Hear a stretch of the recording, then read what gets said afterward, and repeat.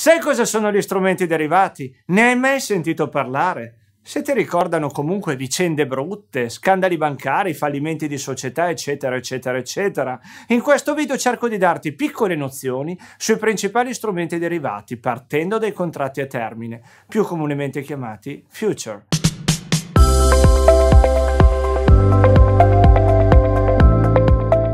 Ciao, sono Simone dal 2011 a fianco persone, manager, professionisti, imprenditori come te che desiderano essere seguiti sia nelle principali scelte finanziarie e strategiche aziendali sia nella pianificazione finanziaria personale. Ti seguo di persone tramite video call anche offrendoti dei programmi di consapevolezza finanziaria. I contratti derivati sono strumenti la cui quotazione deriva dal valore attribuito ad una variabile sottostante chiamato underlying asset. Le variabili possono essere rappresentate da beni, commodities o da attività finanziarie. Il contratto a termine è quel contratto tra due soggetti per la consegna di una determinata quantità di sottostante, attività finanziarie o merci, ad un prezzo e ad una data prefissati. Facciamo un esempio molto semplice. Immagina due aziende, un'azienda che produce acciaio e l'altra che lo lavora e considerando l'elevata volatilità del prezzo dell'acciaio, un'azienda decide di acquistarlo per eseguire le proprie lavorazioni. Le aziende fissano il prezzo di consegna tra tre mesi per 1000 euro ogni tonnellata consegnata. Questo è un esempio di contratto derivato a termine. Delle due controparti ce n'è una che guadagna e l'altra che perde. Se fra tre mesi il prezzo dell'acciaio aumentasse a 1300 euro a tonnellata, la parte venditrice otterrebbe una perdita perché si troverebbe a vendere a 1000 euro alla tonnellata della merce che ne varrebbe 1300. Viceversa otterrebbe un guadagno se il prezzo risultasse inferiore a 1000 euro a tonnellata. Stesso discorso per la parte acquirente, un guadagno in caso di aumento del prezzo, poiché si porta a casa 1000 euro la tonnellata, merce che ne vale 1300 euro, e una perdita in caso di diminuzione del prezzo sotto i 1000 euro.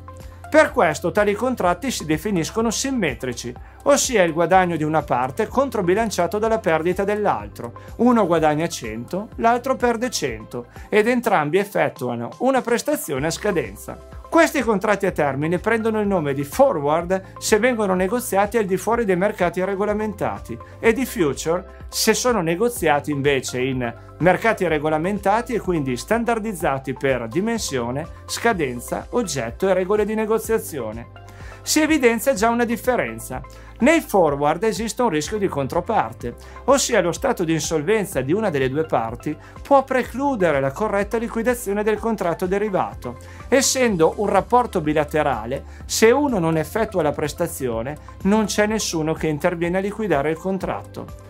Viceversa nei future esiste il sistema dei margini garantito dalla cassa di compensazione e garanzia, ossia entrambe le controparti per garantire la solvibilità del contratto versano al momento della stipula un margine iniziale calcolato in percentuale sul valore nominale del contratto e che quindi definisce anche il livello di leva finanziaria insita nel contratto stesso.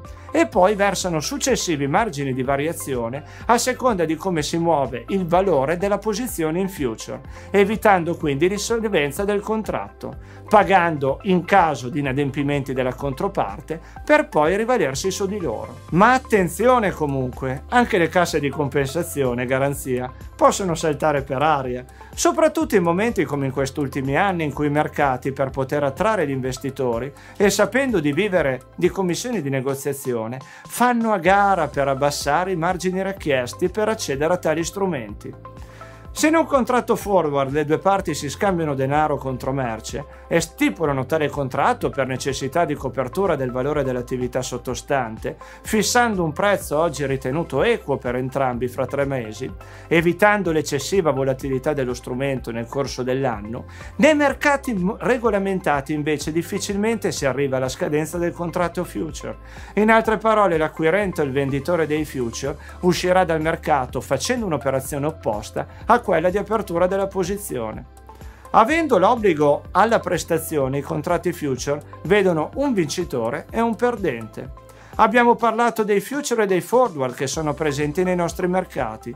Ricordiamo che tali strumenti possono essere inglobati anche in alcune strategie di investimento in fondi comunque, sempre per obiettivi o speculativi o di copertura. Se ti è piaciuto questo video mettimi un like, iscriviti al canale Per essere condotto in un'adeguata pianificazione finanziaria per obiettivi, ti invito a contattarmi. Trovi tutti i miei riferimenti qui sotto. Ciao, al prossimo video!